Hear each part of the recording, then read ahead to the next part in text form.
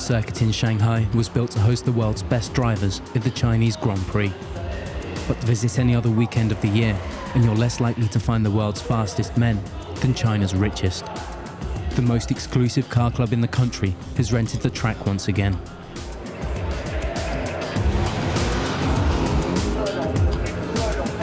The sports car club now has over 1,000 members. According to the club president, there are very strict conditions for membership, even for the wealthiest of businessmen.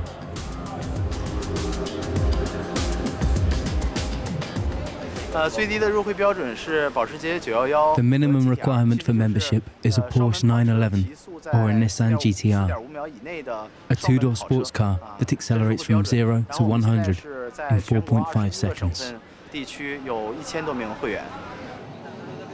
This condition reveals a second, less openly discussed requirement for membership large personal wealth. In addition to the cars, a weekend at the Formula One racetrack costs at least 10,000 euros. The members gathered today comprise a second generation of privilege. They are the children of new millionaires for whom expensive hobbies are no longer out of reach.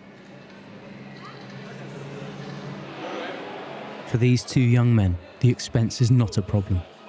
Li Chao and Zhang Yichun have travelled from Beijing. They are entrepreneurs and car enthusiasts. Their annual budget for the hobby is up to 500,000 euros. Everyone has their own idea of a sports car. The Porsche 911 is very popular in Europe. Of course, a Ferrari is very good and expensive. I could just as easily afford one of those. But I like my Porsche 911 because the engine sits in the back and the turbo goes properly. He isn't exaggerating. In fact, on this point, he is impressively convincing.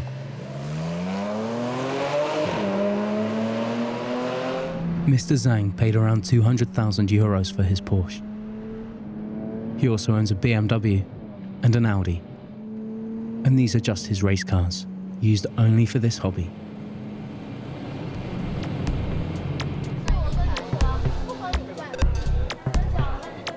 Entertainment for the almost exclusively male clientele is provided for all car club events. Luxury European car manufacturers are guaranteed to appear, represented by their finest hostesses. And the rich petrol heads are quickly acquiring a taste for it.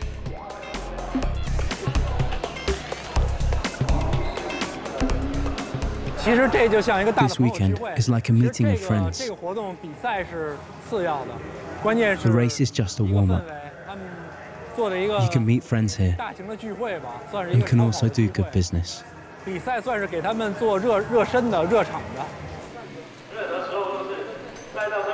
Following the end of the racing, the evening's party is announced over the PA. Unfortunately, cameras are definitely not allowed.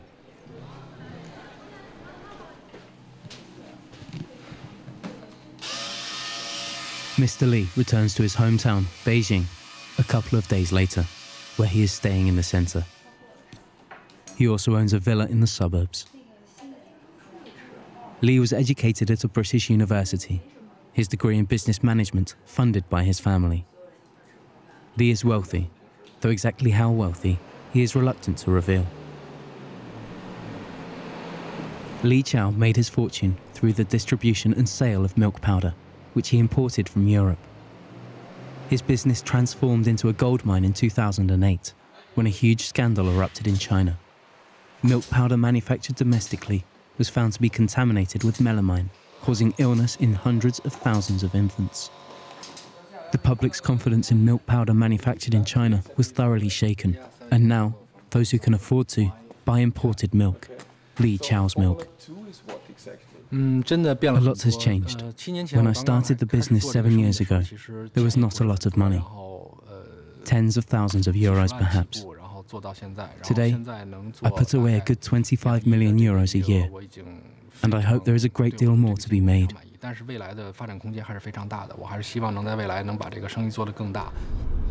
Li Chao is a reflection of Chinese society today. Only one thing counts money and success. You can never have enough money. Money helps me fulfill my dreams. I can afford my hobbies, such as motorsports. This is not cheap, and therefore I need a lot of money as easily as possible. China's new rich spend their money well. For evidence, you need look no further than the luxury fairs constantly running across the country. By 2015, China will replace Japan as the largest single market for luxury goods.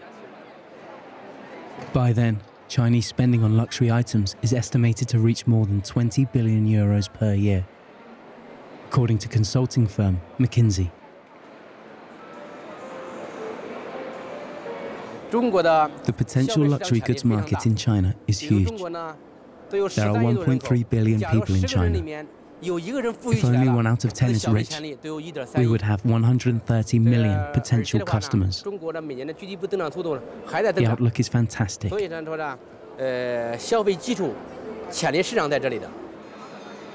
Traditional British sports car manufacturer Morgan is represented in China for the first time at this trade show. They're hoping the new Chinese appetite for luxury goods results in good business. The China auto market is, is perhaps another story. It's now the largest market in the world, surpassed the American market. And, and the appetite for unique cars that have this great combination of heritage but modern performance, we think uh, should really hit a sweet spot with the Chinese consumers that are now looking for something that's a little bit distinctive.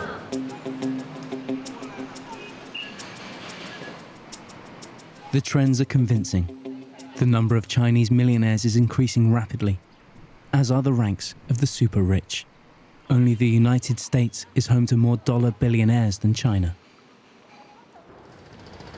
Wang Defu manages approximately the 500th richest firm in China and his personal fortune is estimated at half a billion euros.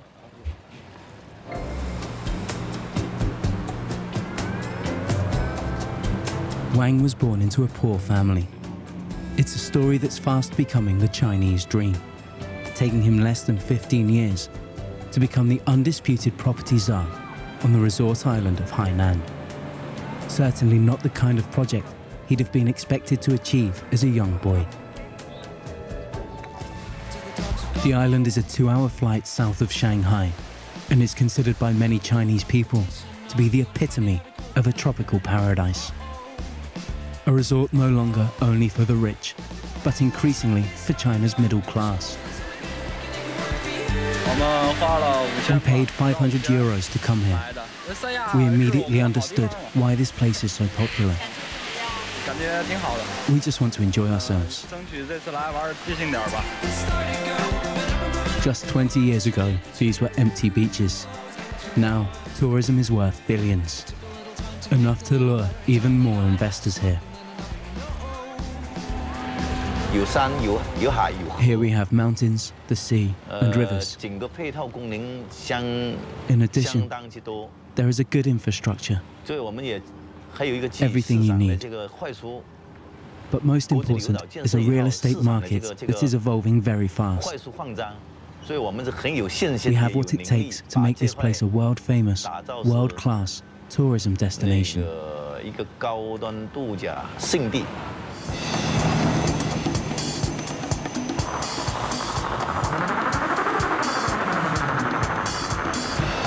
These men are among the richest in southern China. Wang Defu has been invited for a weekend to Hainan by a man who deals exclusively in toys for the rich.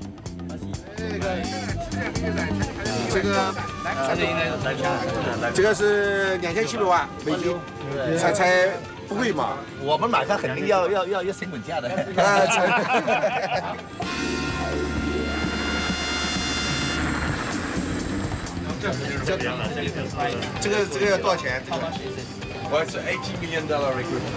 好，那么这个是是那个八千万美金。八千万。八千万。All all included。所有的都包括。八千万，大伙不贵。不贵，对大夫来说肯定。一万一万三，这个开眼界，走。好，我看过了，这下应该可以看。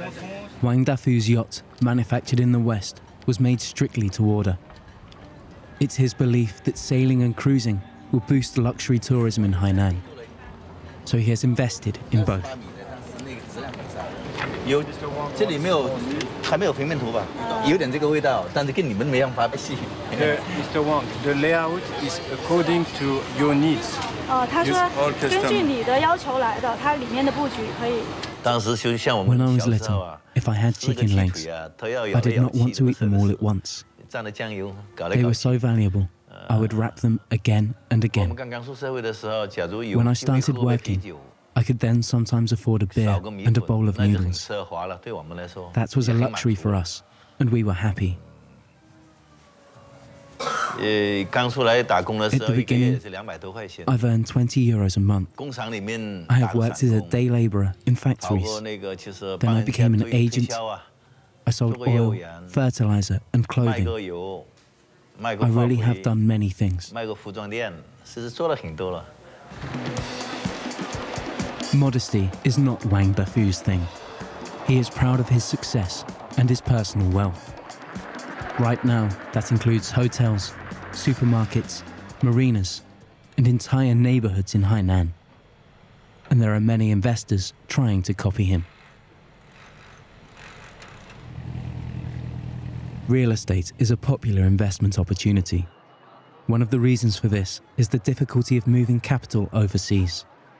But now, the Chinese millionaires have discovered the international art market, which they flooded with approximately 14 billion euros. In terms of money spent at auction houses, China is already way ahead of the US, at number one in the world. Just over a third of global sales are to the Chinese market. This is China Guardian Auctions, one of the largest art auction houses in mainland China. Last year alone, it made more than 1.3 billion euros in revenue. Thousands of art objects are displayed ahead of each individual auction.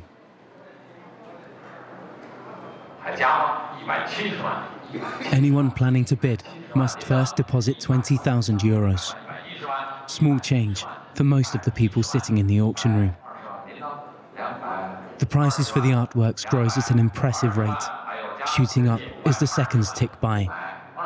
Often, the buyers are not here in person, preferring to remain anonymous and give instruction by phone.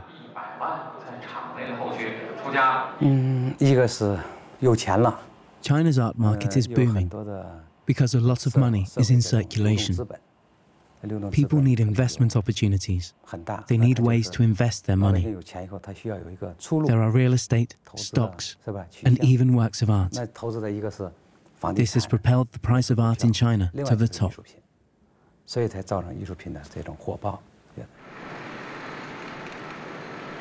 Li Gaochang is one of the most famous art collectors among China's multi-millionaires. His personal fortune is estimated at around 450 million euros, and his office is decorated with oil paintings by contemporary Chinese artists. Not without pride, he says that for this piece alone, he paid almost 1 million euros many years ago.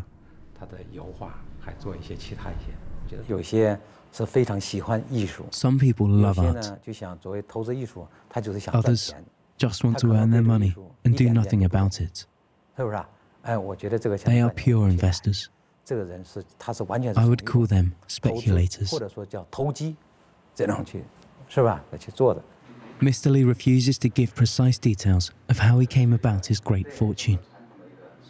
His company certainly operates in the forestry business, investing in real estate and buying up companies. The richest man in China, Zong Qinghao, is a modest man and has hardly any hobbies except smoking cigarettes. Mr. Zong started out at 20 euros a day. According to him, that was all he needed. His fortune is estimated to be equivalent to approximately 10 billion euros. When I was little, there was something to eat only once a day. I'm used to being frugal. I give nothing for luxury. No matter how much money you have, there is a limit how much you can spend and how much you can eat. The money ultimately belongs to society. So I invest incessantly, constantly creating new jobs and paying taxes to the state. The Wahaha Group has become one of China's most successful brands. It includes 160 companies in 60 locations across the country and employs some 30,000 people. Its core business is the manufacture and sale of the most popular soft drinks in China, a market in which Wahaha products have a share of 60%.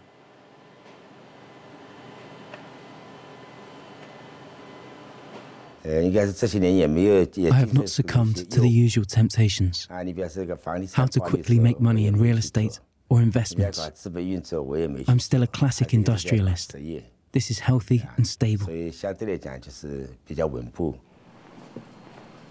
A museum on the premises tells the family history. Zong Qinghao presents himself as an entrepreneur with heart, a man of the people with a sense of social responsibility, a showcase for a particularly Chinese brand of capitalism, exactly as the Communist Party envisaged. Mr. Zong is a party member and well connected. China's supreme leaders, past, present, and future, are personal friends. For Zong, to be a capitalist and Communist Party member simultaneously is not a contradiction. I didn't become a member until after I was rich and successful. The party encouraged private entrepreneurs to join. Unlike before, progress now comes from entrepreneurs who support the Communist Party. The party is focused on all the forces acting on the structure of the economy, so they need us.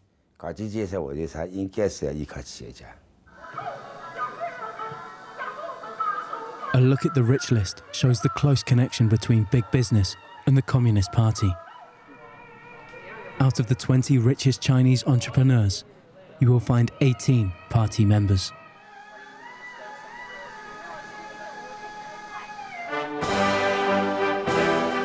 Also impressive are the incomes of the members of the People's Congress, the official parliament, which meets once a year. The 70 richest members collectively have assets worth over 65 billion euros. This compares favourably to the meagre 4 billion euros available to the 70 richest members of Congress in Washington. Whilst the irony of wealthy capitalists running the Communist Party may be lost on men like Zong, rumbles of discontent can still be heard. Especially amongst the left wing of the Communist Party, from individuals like economist Zhang Hongliang. He describes the incorporation of capitalists into the party as an historic mistake. Directors of companies can't be party secretaries. It should be the proletariat secretaries and the directors representing the capitalists. When a person takes those two functions, one thing is clear. The Communist Party is nothing but a capitalist party through and through. A, group who, who were An equally powerful and opaque network has emerged as economic and party interests have merged. That's according to Australian economist David Kelly. He operates a private research institute in Beijing. I don't know if you saw today, the market entry is by no means open. And it's much easier to get into the market in most of the country if you have the party background.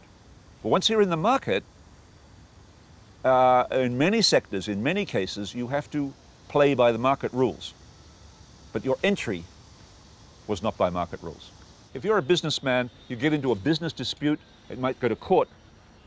If you're, if you're attached to the party, you've got the decision, you've got the decision in your pocket. Our amateur racers and young entrepreneurs admit party connections are useful, but insist they aren't everything. In the 80s, businessmen could do nothing without the party. Without contacts, it was impossible. But now, other things are more important. Today, you have to understand and capture the market. Contacts are, of course, useful, but no more than 5 to 10% of the business.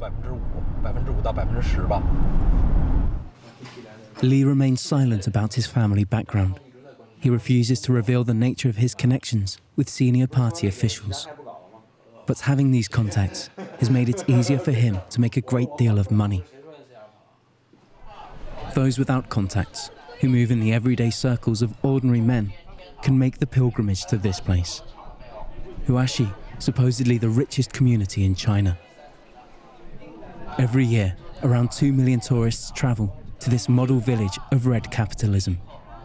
They all come with only one purpose in mind to find out the secret of getting rich. They can get tips from this 86 year old man. Every day, Wu Renbao imparts his wisdom to the pilgrims. For decades, he was the party chief in Huaxi. It was his vision for transforming the impoverished rural village that is responsible for the residents' new wealth.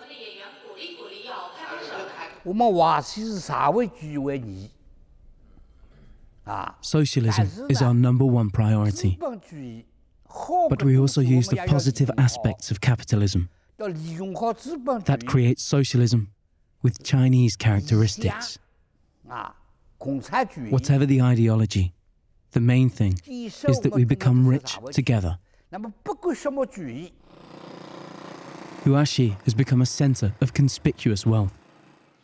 On the 60th floor of the recently completed hotel, you can admire this golden bull.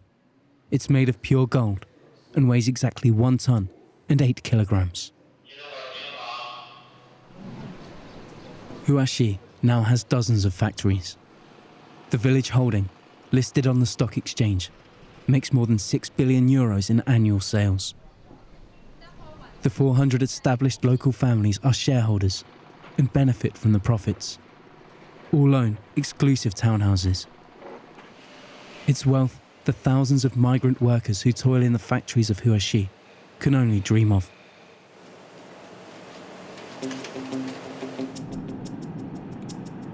The rich province of Zhejiang, south of Shanghai, is considered the cradle of Chinese capitalism. The assumed entrepreneurial skill of the residents is apparently taken for granted. Even when the nation was still on a tight socialist course, the grip of the party in Zhejiang was weaker than in the rest of the country. Here, you can find the headquarters of Neoglory, world leader in fashion jewelry.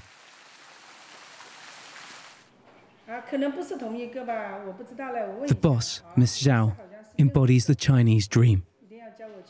From a poor farmer's daughter to one of the richest women in China, Ms. Zhao found her start selling cheap junk, traveling as a stowaway on the nation's railways.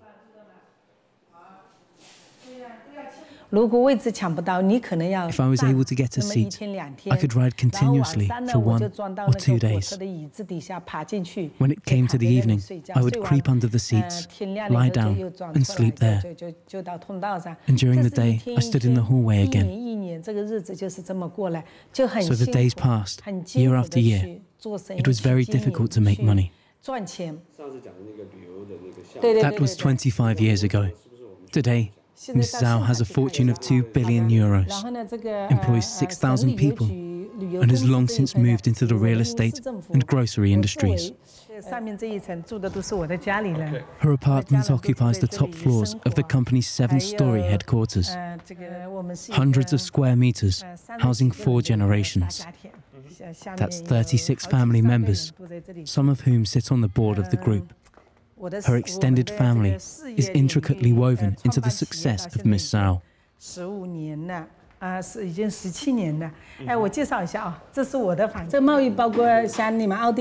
My sister, along with her husband, is responsible for our partnership with the Austrian company Swarovski.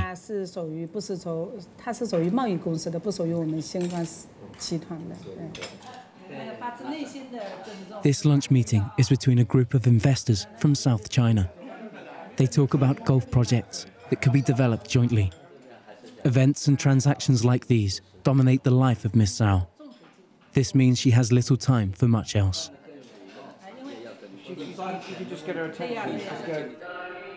This Buddhist temple is her retreat. It provides short moments of calm in the restless life of a confident woman who, she says, has had to work hard to succeed in the male dominated business world of China.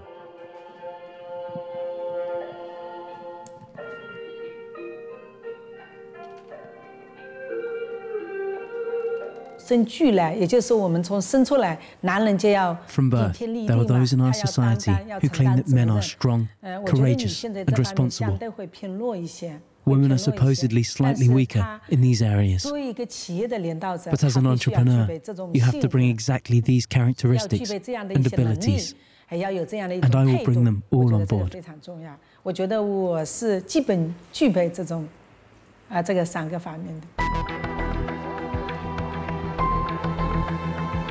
Three decades of economic liberalization have changed the face of China. Those benefiting most from the change are the children of the first generation of pioneering red capitalists. Immodest, accustomed to success, and able to spend more money in one luxury evening than others can earn in a year. This is life in the new China, and it looks as though the red ideals of the past have probably been discarded forever.